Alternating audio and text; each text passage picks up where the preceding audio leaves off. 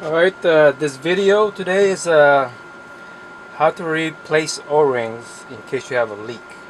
I'm going to cover all the o-rings, the areas uh, that will leak, and eventually you can fix it yourself. Alright, I removed uh, the stock. I disconnected the trigger uh, horseshoe here from the trigger. Now, we'll want to remove the air tube separately from the rest of the assembly. Alright, to do that,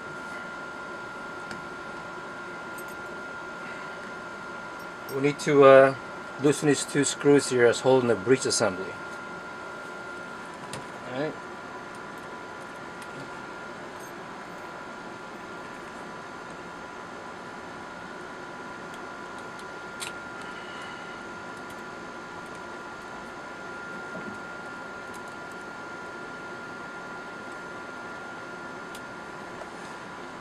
Now we're going to slide the breech assembly away from the tube assembly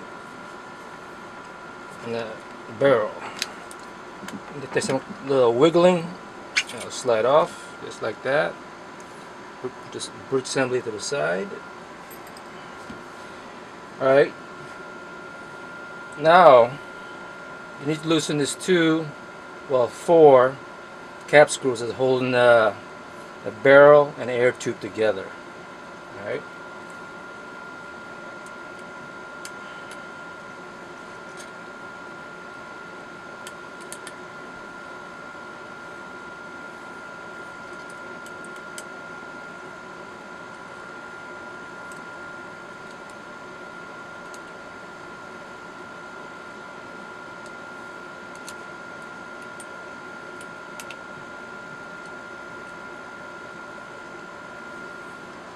Now we're going to slide it this way because uh, you can't slide it towards aft because the, the fill cap assembly will get in the way.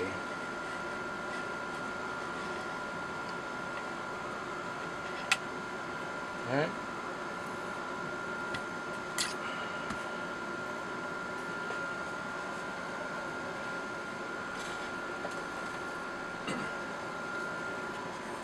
Alright, we got the tube out of the way, I mean uh, separated. Alright, while we uh, I'm going to discuss here. Well first, we got a this screw here, the bleed valve. We have to bleed it up. Alright. You can look at your fill pressure, there's pressure there. So we're going to bleed all that pressure out before you attempt to uh, unscrewed the valve assembly and a field probe cap assembly. Alright.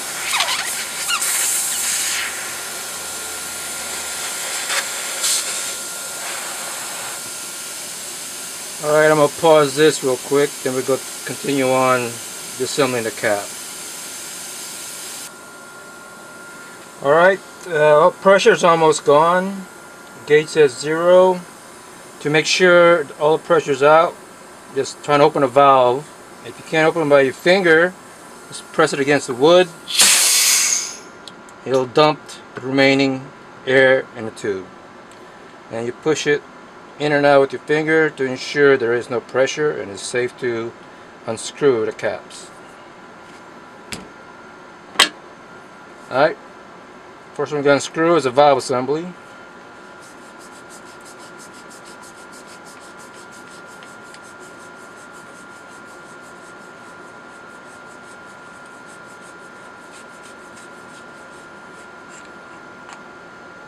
Alright, there's the main valve.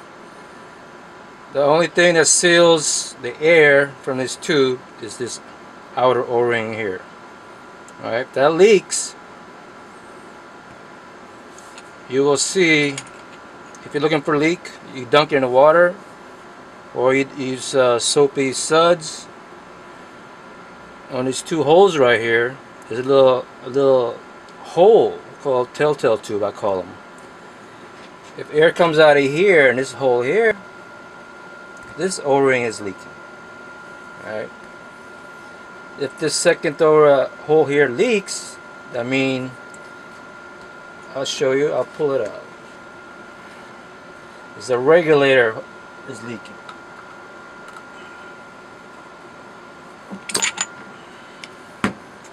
Alright.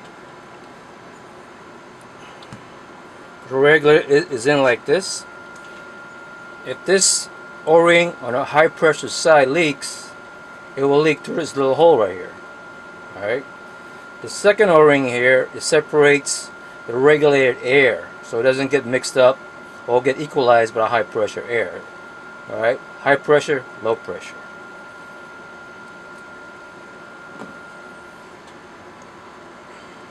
Alright. That's the only uh, part of the regulator. If it leak on this o-ring, it'll come out of here. That's the only thing will drain your pressure on your main tube here. Alright.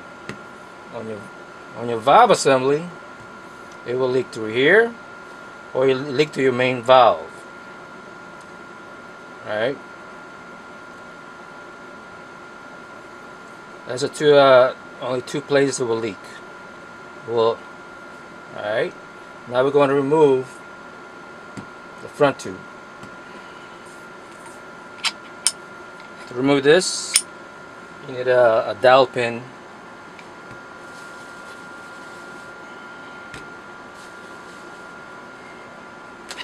Stick in a fill probe. You just gotta unscrew it.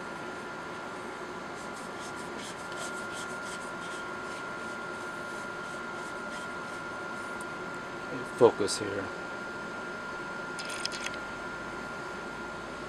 Make sure it's focus. Alright.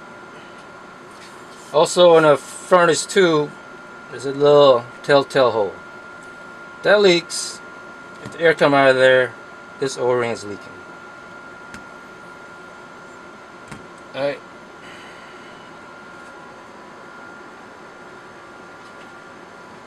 Clean this off.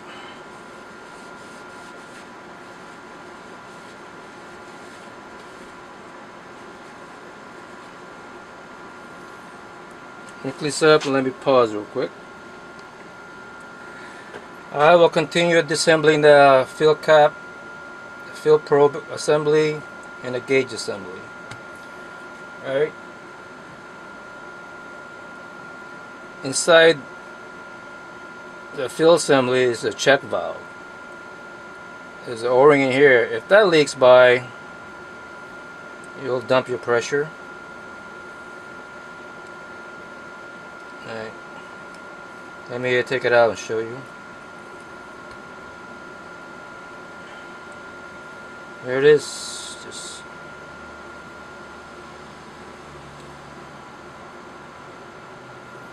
a little O-ring.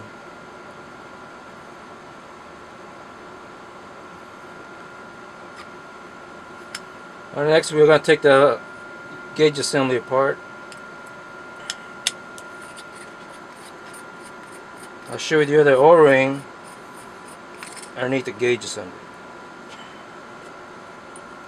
Spring out. There's a gauge.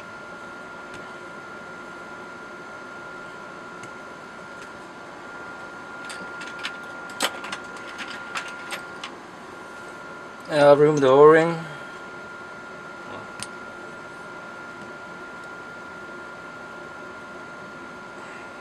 Dirty in there. Anyway, here's the O-ring. Okay. I could tell I'm going to replace this O-ring because uh, it's deformed. I mean, when it's deformed and hard, it has no squeeze to properly seal. Okay. I didn't have no leak on this. Since I have it disassembled, I'm going to replace that O-ring.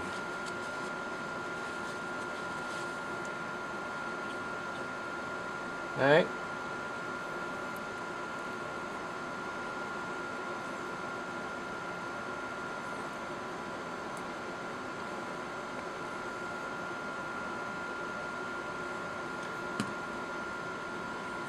There you go. All this, it's all completely disassembled.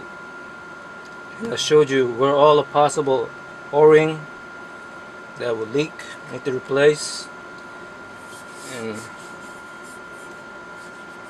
and hopefully you could uh, fix the leak.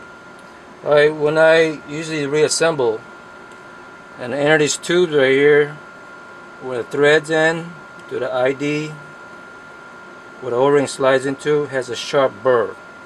I sand all that out on the front tube even the the threads I sand down lightly with a 600 grit get all the burrs out run your finger through it make sure nothing's sharp.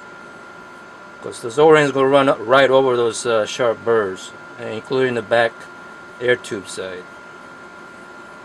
I mean the regulator side. To tell the difference between the two the front of the tube has only one little telltale hole. Back side has two. One, two. so you reassemble it you don't know which one goes where alright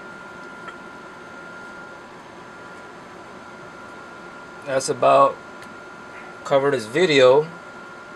I don't make this video too long in reassembling it because when I reassemble it I'm going to fine tooth and comb make sure all the o-ring sealing surface are clean all the burrs are there off. I clean everything re-lube it. I put uh, I use Molykote 55 it uh, lightly swells the o-ring while it's in place. Other than that that's it for this uh, video. Uh, maybe after this uh, demonstrate how to reassemble it. And uh, also uh, modify the spring here. Because uh, this fill cap to me the spring is too tight. It's like a guillotine. It's pinching my fingers sometimes so I'm gonna make it weaker shorter cut the spring so I could open it one finger and put the fill probe in at the other. And it doesn't happen that way with this strong spring. I can't push it open because it drags the whole gun. It, uh, it, doesn't hold it in place. I have to drag it. I can't open it steady. So with the lighter spring hopefully I can do it one uh, uh, two fingers open it put stick fill pin fill probe and fill it. And it doesn't slam like a guillotine and pinches you. And pinches the o-ring on a fill probe. So that's one uh, other modification I need to do. And I hope this helped you out. Alright